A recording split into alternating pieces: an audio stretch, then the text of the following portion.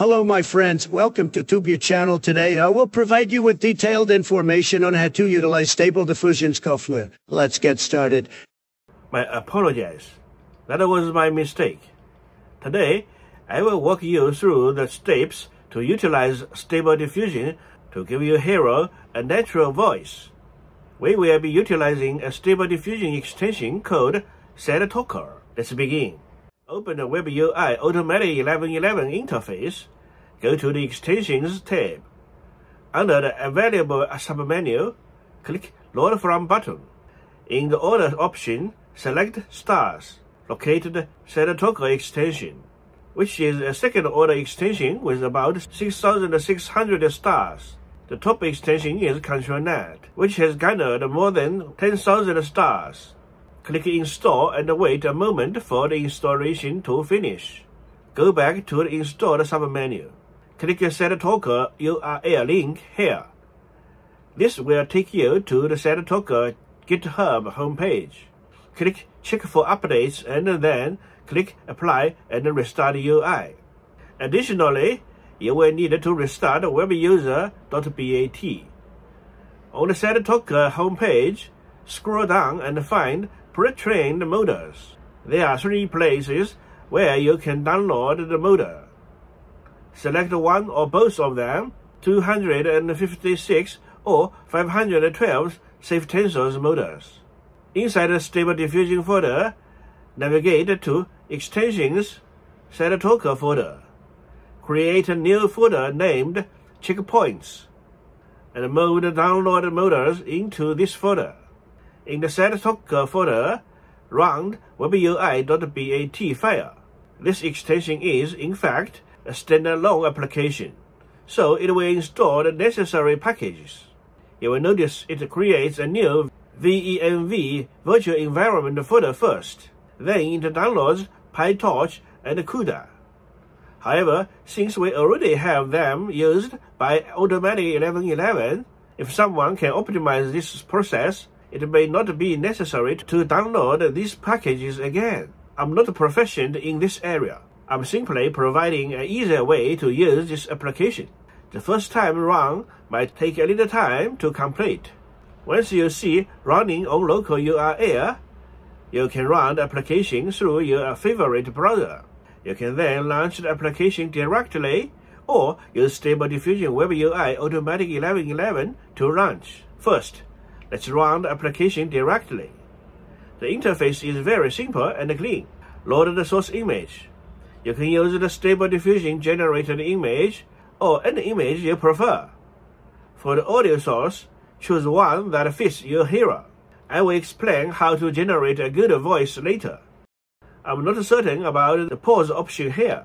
The face image resolution uses the model you downloaded. I usually use the full resolution to generate the source image, and use the steer mode to get better quality images, similar to how GFP GAN works. After clicking the Generate button, the process starts. I encountered an error message stating that a mapping model is needed. So I revisited the SadTalker homepage download page. You can directly visit the homepage by clicking here. One link directs you to the original paper and the other to the GitHub URL. Download the two mapping files and place them into the SadTalker checkpoints folder. Run it again. This time it finishes without any program.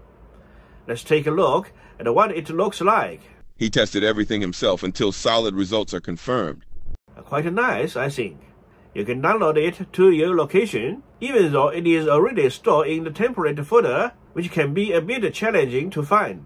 Now let's try using WebUI Automatic 1111. Restart the WebUI Automatic 1111 interface. You will now see a SadTalker submenu in the interface. Repeat a similar process as above, using another image and voice. You will see it works very well. In summary, SadTalker can run directly or as an extension of Stable Diffusion Automatic 1111. Lastly, I will share where you can get a good free voices from the internet. Here is one of the best voice-over AI projects. it can convert text to voice with a realistic tone and perform other amazing voice-related tasks. The link is in the description below. Visit the homepage and download a small application. After installing it on your computer, you can log in as a new user. Using a Google account is very easy. Now you have 2000 free text changes. You will find many preset nice voices.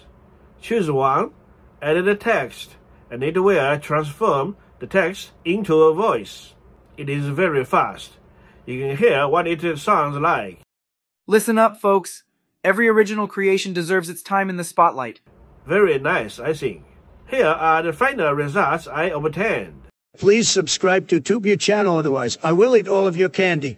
He tested everything himself until solid results are confirmed. Listen up, folks. Every original creation deserves its time in the spotlight. Show some love by hitting that subscribe button for the channel, or I might just swing by and have a friendly chat about it. Your call. Allow me show a nifty little trick with you. First, you can slow down the voice speed using a free open source software called Audacity. You can find the link in the description below. Once you have installed and launched the software, follow these steps. Load the original voice file. Select the entire voice file by using Ctrl A. In the Effects submenu, choose Change Speed. Adjust the speed to 75% for a test run. Save the voice file as an MP3 or WAV format. Utilize this adjusted voice file in SadTalker. After completing the movie generation within Premiere Pro or any other video editing software, change the movie playback speed to about 1.3 times. Now, you will notice the playback is smoother. Listen up, folks. Every original creation deserves its time in the spotlight. Show some love by hitting that subscribe button for the channel, or I might just swing by and have a friendly chat about it. Your call. Additionally, I have found that using 256 face motor can yield better results as well. If you're enjoying my content, please consider subscribing to my channel. Thanks for watching.